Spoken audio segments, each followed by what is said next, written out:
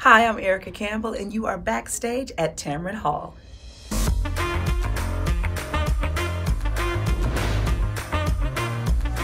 Contour, facial oil, wigs, For sure.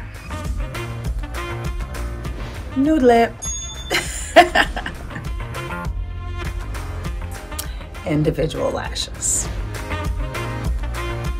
I can't say both. Both. Power suit.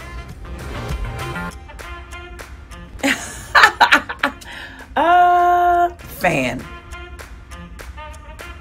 Bible app. I'm a Bible app girl.